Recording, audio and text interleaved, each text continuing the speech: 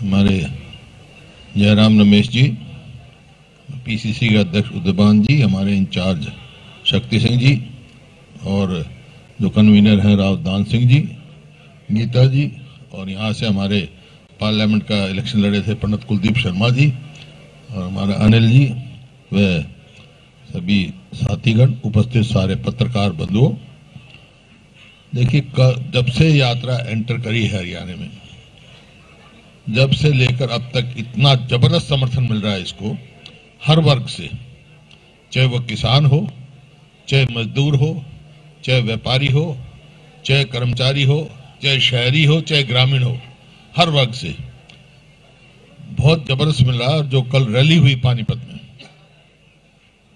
जो भारत जोड़ो यात्रा कल की भीड़ देख के, कल का जन समूह देख के ये यात्रा जन आंदोलन में बदल गई। जन आंदोलन में बदल गई क्योंकि ये जो विषय लेके चले हैं, राहुल जी, एक बेरोजगारी, महँगाई और आपस में प्यार, आपस में भाईचारा बनाने का। और जो पानीपत है, वो इस चीज़ के लिए मशहूर था। जो चिश्ती समुदाय के कलंदर साहब वहीं के थे, जिन्होंने भाईचारे का सबसे बड़ा प्रचार फैलाया। और आज हम जाके करनाल रुकेंगे, जो राजा करण की भूमि रही है, दानवीर करण। और क्योंकि ये जो रूट अपनाया है, राहुल जी ने जीटी रोड पे, ये महाभारत काल से संबंधित है। आप शुरू से करो, सोनीपत, ये पानीपत, ये तो उन पतों में से हैं जो पांडवों ने बसाए, जो उन्होंने मांगे। उसके बाद आप करनाल राजा करण की भूमि, फिर कुरुक्षेत्र कुरुक्षेत्र वो आपकी महाभारत की धर्म क्षेत्र और उसके बाद अंबाला। अंबाला का भारत की स्वतंत्रता संग्राम में बड़ा भारी योगदान रहा है। कांग्रेस की स्थापना हुई तो पहली उन्नीस अठारह में तो लाला मुरलीधर वहाँ अंबाला से गए थे। और पहली अठारह की जो पहली स्वतंत्रता संग्राम की चिकारी अंबाला से फटी और नौ घंटे के बाद मेरठ में पहुँची। तो इस वास्ते ये जो एरिया है, ये ठीक है। महाभारत कुरुक्षेत्र में हुआ, निर्णायक युद्ध हुआ और पानीपत में तीन निर्णायक युद्ध हुए।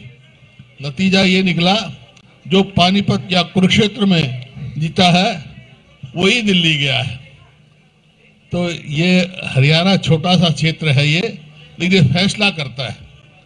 कि दिल्ली कौन जाएगा? जो पानीपत में जीता वही दिल्ली गया, जो कुरुक्षेत्र में जीता वो दिल्ली गया तो कल का जन समूह देखकर जैसे मैंने जन आंदोलन है तो ये लगता है, अब कांग्रेस के लिए दिल्ली दूर नहीं है। तो ऐसा मेरे को प्रतीत हुआ। मैं सभी साथियों का, और खास तौर पे जो लोग इतनी कड़ी सर्दी में आए, इतनी ठंड में आए, बड़े भारी ठंड कोल्ड की दूर दूर से हरियाणा के हर कॉर्नर से पहुँचे। मैं उनका आभार व्यक्त करता हूँ कि, और उनकी डेडिकेशन ये साबित करती है कि ये जन आंदोलन बन चुका है। बाकी तो कल के प्रोग्राम इन्होंने बताए हैं। जयराम ने हमारे चेयरमैन साहब ने बहुत सारे जनरल मिलेंगे, वो वॉक करेंगे। जो आर्मी चीफ रहे हैं जनरल कपूर हमारे हरियाणा से, वो वॉक करेंगे उनके साथ उनके साथ और भी कई जनरल होंगे। वो वॉकिंग के बात करेंगे, ताकि वो सारे उन पर डिस्कस करें जो अग्नि पथ है, उसके बारे में भी उनके क्या विचार हैं। तो राहुल जी उनसे सारा ये विचार विमर्श करेंगे, और क्योंकि उनकी राय मायने रखती है इस चीज़ में, फौज के मामले में। इसी प्रकार से किसान आंदोलन तीन महीने पूरे साल चला यहाँ और तीन काले कानून वापस लेने में हरियाणा के किसानों का सबसे बड़ा हाथ है, पंजाब हरियाणा का। तो हरियाणा के बाद पंजाब जा रहे हैं। राहुल जी, कौन सी तारीख को? ग्यारह को। ग्यारह को। ये बता देंगे कार्यक्रम आपको।